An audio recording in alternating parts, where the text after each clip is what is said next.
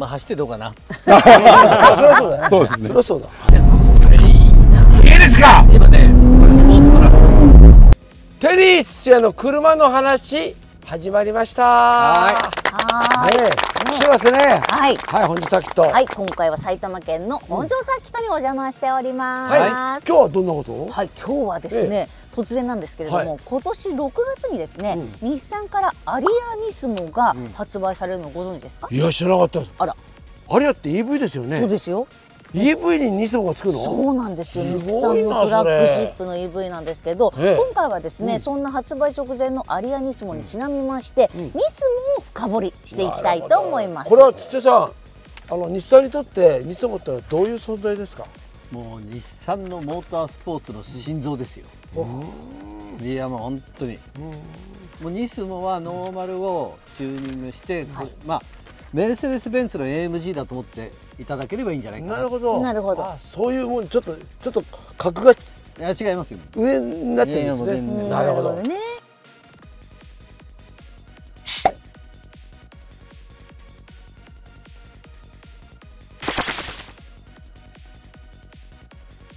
普段はどんなお仕事なさったんですか？はい、えー、と私はですね今日おあの持ってきてます Z それから GTR の、はいえー、と開発責任者やってまして、おすごい。今回このニスモバージョンもあの一生懸命、えー作りました、はいはいはい。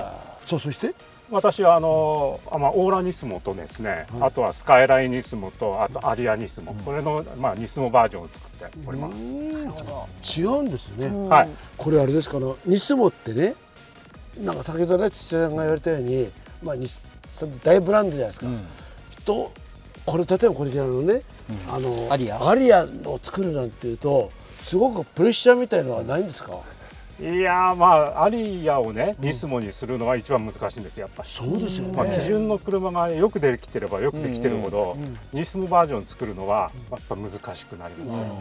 はい。ね。しかもね、なんかこうスポーツモデルとまた違いますもんね、アリアはね。そうですね。フラッちょっと電気自動車っていう特性もあるし、うん。まはい。あ後でも説明しますけどもこれは E 四駆 E, e ホースっていう四駆があったんで、はいはいはい。それがあるんでやっぱニスモ化がうまくできたっていう技術的なまあ話もある。ニスモ化ってどういうところがポイントなんですか？やっぱりですね、より早く気持ちよく、はい。そして安心して走れる車に、まあ、もっともっと進化させていくっていうのがニスモの考え方なんで、まあ、Z もスカイラインもアリアもオーラもみんなそういう考え方で作られてます。我々はやっぱりお客さんも想像しながら車作ってるんで、普段お乗りいただく Z とそれからニスモと。またちょっと少しお客さんが求めてる違いが、うん。あのあるのでまあ、そこに合わせて作り込んでますね。なるほど。でこれでも今回ね2人の住み分けってどうなんですか？川口さんは 35GTR かはいはらい。Z からっていうスポーツ系じゃないですか、はい。長谷川さんは？長谷川さんそれ以外のニスも全部やっていただいてますけどもともとはあの私長谷川さんの元で働いてい。て DNA はもう全部一緒なので そうですね。あのたまたま今今この時期を取ると私がその2台で、はい。それ以外長谷川さんですけど、まあ、今後どう変わるか分かりませんけどあのずっと DNA はつながってますんであのニスモとしてはあの同じ考え方で車が作れる。ね。なるほどはい。ね。柱は一緒なんだね。そうです。柱は一緒です。で今回ですね、ニスモシリーズの車をお持ちいただいたということで、えー、後ろの。3台後ろにね、はい。並んでますけれども。ら紹介してもらいたいですよね。はい、はい。じゃあまずねフェアリー Z からいきたいと思います、もう大好きですよね。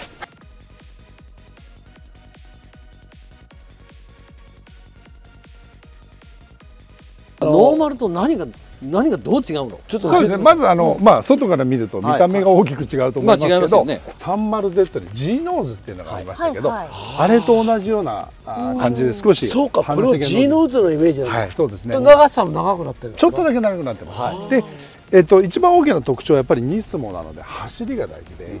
本当にあの車が走れば走るほどどうしても車浮き上がってしまう、これを抑えつけるためのダウンフォースが重要なんですけど、えーこれはスタンダードに比べてこのバンパーの形状とかカナード形状をつけて、本当にダウンフォースを強くしてるんです、要はし浮き上がらない、はい、これマイナスリフトです。結構え市販車でマイナスリフトを実現してるのって弊社で言っても GTR と Z のニスモすみません。ちょっと言ってることが分かんないんですけど。あの普通はですね、この形を見ると絶対に車って少し上に上がるんです、でどこの会社も空力を良くしてゼロリフトっていうんです、ほぼほぼゼロ、うん。まあ、ある誤差があってほぼほぼ。あ上げないでう前は少し上がるけど後ろが下がるで操作してゼロとかって言うんですけど、この車は前も後ろもしっかりとダウンフォースでマイナスリフトしてるんでここはやっぱり非常にあ。のこだわって作ったポインピタトですね。ッと張り付いてるわけですね。土屋さんなので、はい。今の話聞いてどうですか？いやそあのー言ってる意味はわかりますよ、まあ走ってどうかな。あそりゃそうだね。そうですね。そりゃそうだ。ブレーキがですね、はい。えーキャリパーも違うわけですかはい違います。これもあけぼのさんがですねわざわざこの、はい。少ない少量のこの Z のためだけに作ってもらって赤いダブルネームですね。日産とあけぼのさんの名前を入れさせてもらって赤い、えーキャリパーをセット不安はさこういうのがみんなねそそるよね。いやそそりますよ、ね、そそるよね。あとはホイールもあのレイズさんにまた無理を言ってですね、9本スポークで。これレイズさんが今までずっと培ってきたレースの、あのなんですかね技術を持っていくと、軽量化と合成を最適にバランスしようとするとやっぱりこの9本スポークが非常にいいということで。実はあの GTR のニスモも同じように9本スポーク、こちらは19インチで、はい。GTR は20インチですけど、はいさあそして後ろに回りました。そうですね。これは後ろはどうはい、いうあのやはりバンパーの形状変えてこれもあのダウンフォースに効かせてますし、えーリアのスポイラーですね、あのスタンダードの場合は、えーバックドアのところで終わってるんですけど、はい、ニスモはあのフェンダーのところ足してるはい、より、えーとダウンフォースをしっかりと、マフラーはどうですか？マフラーは、えっと基本は一緒です、はい。はいなんかでも生活さがちょっとねうん。違いますよね。ね、エンジンのパワーも上がってますよね。そうですね。あのスタンダードが405馬力で今回は420馬力ですね、トルクも475に対して520ニュートンまで上げてますので、まあ見えないところにいろいろ車体に手を入れてですね、ここを上げてますね。これ？もうその 35GTR の時からそうですね。はい、見えないところにそうですね。お金かける。すごいんだよ。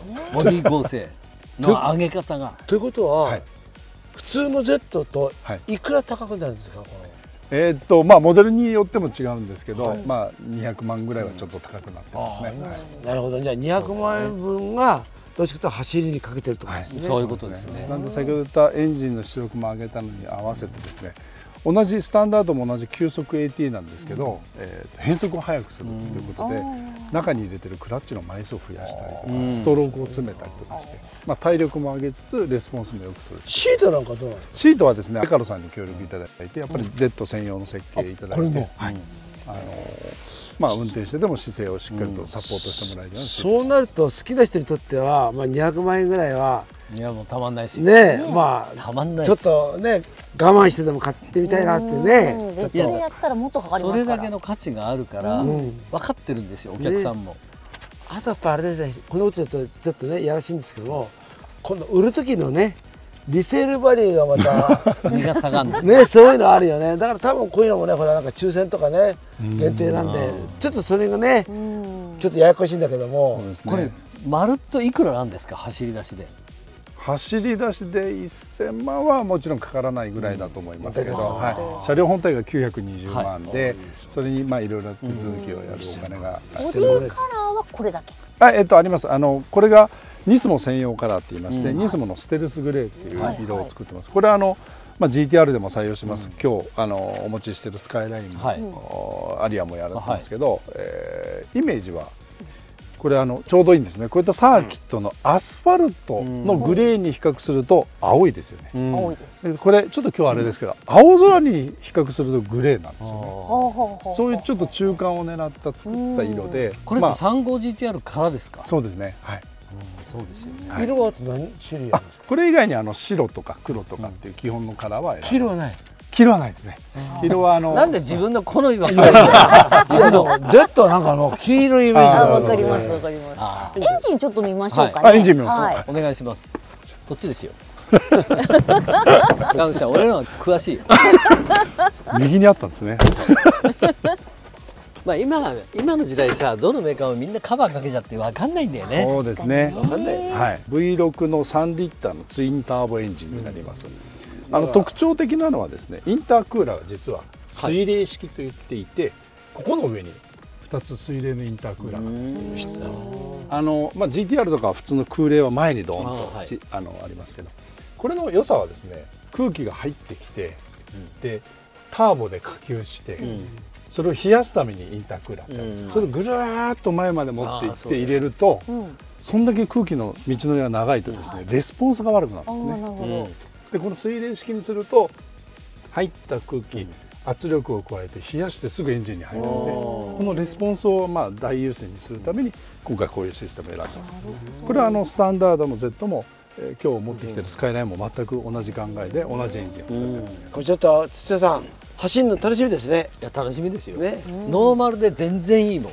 Z は。確かニスモになるとどう変わるかですよ。に、はい。じゃあそれでは、ね、ちょっとこれ、はい。試乗しましょうかね。い行きますか。行きましょう。はい。試乗しましょう。よろしくお願いします。お借りします。はい。じ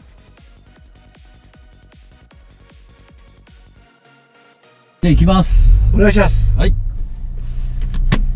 いいね。サイドブレーキついてるっていいね。あ本当だね。ね。いいね。Z ノーマルでも全然いいもんね。ねよ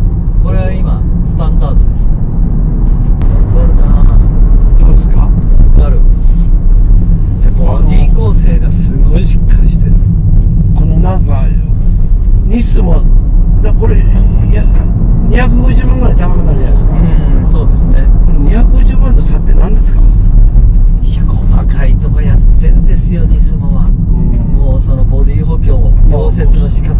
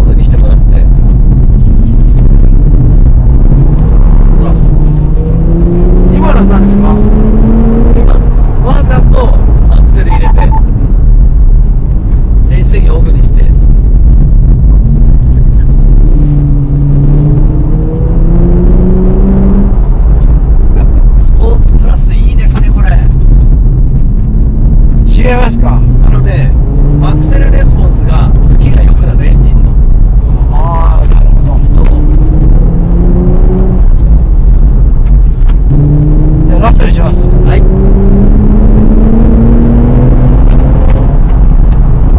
やいい車作るなノーマルも本当いいんですよノーマルでもいいんだけどイスマになると足が良くなるでしょでボディ構成も上げてるでしょで多分ですよコンピューターも回転ですよこれアクセルレスポンスが全然ノーマルよりもちょっと速い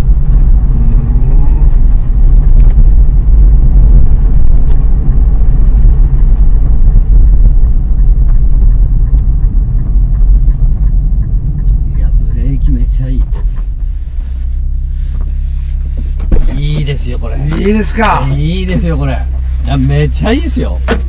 Z はやっぱり、ノーマルも乗ってるけど、やっぱそのなんだろうワンランクもツーランクも上にいるのが NISMO だなって、うん。やっぱりなっていうか。なるほど。なるほど。うん。でもともとダンスパートナーっていうコンセプトで出たじゃないですか、うん。Z。 NISMO になるとどういうパートナーになるんですか？えっとね同じダンスパートナーであるんですけど、うんはい。一応我々開発の中では buddy on track って言って、うん。こういったトラックでの相棒イメージで、まああの相手の息遣いを感じながら踊るダンスというのもうん。信頼し合ってる、こうやればこう動いてくれるよねって言った、まあだから車でいうとよりレスポンスを良くした、うん。反応を良くしたっていったところに力を注ぎましたね。奥様のようなもうね、通い合ったあれですよ土屋さん。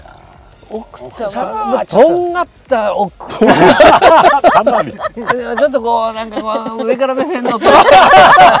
嫁みたいな。ねその辺の庶民のエプロン着てるような主婦じゃないんだよ、なるほどね。ちょっとそれはノーマルの Z なんだよ、あなるほど。ニスモ Z になると違うんだよ。お高いところからこう 見るのだ対等です。対等ね。ああそう。対等。だけどさニスモって全部が全部今まで乗ってきたけどそのボディ合成の上げ方がうまいよね、で普通はボディ合成上げると硬くなって入力がゴツゴツくるの、はいはい。でその入力をうまくいなしているのがサスペンションであったりね、あとはステアリングフィールであったりステアリングに来ないもんね。なるほど。しなやかでしたもんね。本当に。ね。うん。だから入力がうまい本当に。お知らせがあります。この度アヘッドモーターサービスでは新たに一緒に戦ってくれる仲間を募集していますモータースポーツはじめ、まあ、チューニングもやってるじゃないですか、うちら。そうですね。まあ、車両販売からさまざまな自動車事業をやる中でモータースポーツをいじった経験が普通にお客様にフィードバックされて、まあ、チューニングも含めてあの提案させていただいてるんですけども、まあ、ぜひあのうちらのチームに入って一緒に働いてみませんか？ということで。はいそうですね。あの、はい。本当にねあの AJRT の活動も通してですけれども、まあ、あとはねあのテリーちゃんの車の話そうですね。という番組にもねあのたくさんいろいろと協力もさせていただいてというところでここでしかできない経験皆さんありますのでぜひねあのふるってご応募いただきたいはい。ところでございます、そして、そしてえーブレス。はい、あの板金塗装で、えーおなじみのブレスも一緒に、えー働いていただける仲間を募集しています、まあ、今もねあの塗装部も板金部もね稼働していますけれども、まあね。はい。みんなでねやっぱり盛り上げていきたいなとはいいうふうに我々思ってますので、えー一緒にですねえー楽しく働ける仲間募集していますので、えーぜひこちらをクリックしてください。特に今年はですねチャンピオン取りますからね。皆さんチャンピオンの一員になりませんか、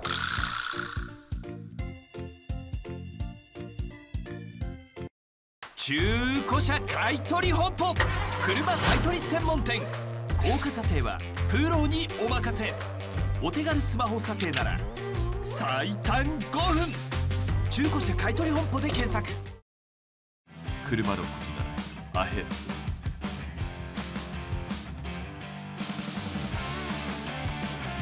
カスタムカー中古車販売買取ならアヘッド車の話番組 YouTube では未公開映像や特別映像を公開しています。チャンネル登録お願いします